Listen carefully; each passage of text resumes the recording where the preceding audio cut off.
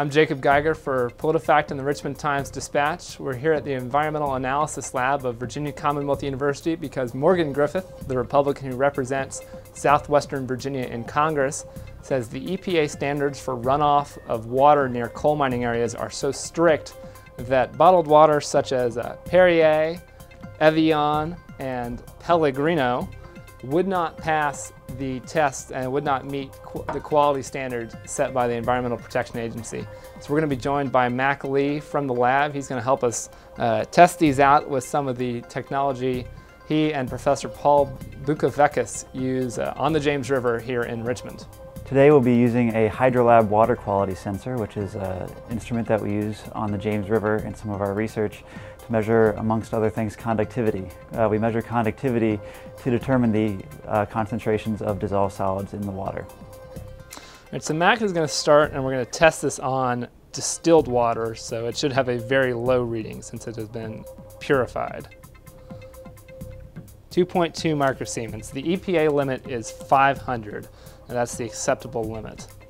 All right, so we're going to go next to Pellegrino, uh, bottled in uh, San Pellegrino, Italy. This is one that Morgan Griffith says would not pass uh, the EPA standards. All right, next we're going to do Perrier, the uh, bottled water from France. Like the Pellegrino, it is uh, carbonated, but that should not affect its conductivity.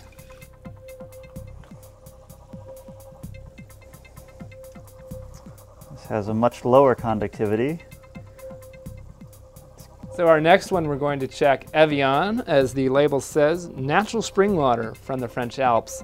We'll see uh, if its conductivity is higher or lower than the water we find in uh, streams in the western part of Virginia. So for our last test, I went down to the James River this morning and I took one of my own water bottles and I have filled it up with water. Uh, I, this was near 19th and uh, Canal Street, so down in the Shockoe Bottom area of Richmond. That's, that's the part of the James where I went and I got our water. This will be our final test. Uh, we'll see what the conductivity is of river water. The EPA standard for conductivity is 500 microsiemens in uh, coal mining areas. The distilled water had a conductivity of 2.2 microsiemens, the James River water 139 microsiemens, uh, Evian 584, Perrier 795, and the Pellegrino 1,266 microsiemens. So if you were to take this water up into the Appalachian Basin uh, and pour it out, enough of it out into a stream near a coal mining runoff area, yes, this would not pass the EPA standards test. The bigger question that we will examine in our article is whether this comparison is relevant since the EPA standards only apply to Appalachia. They're not global water quality standards.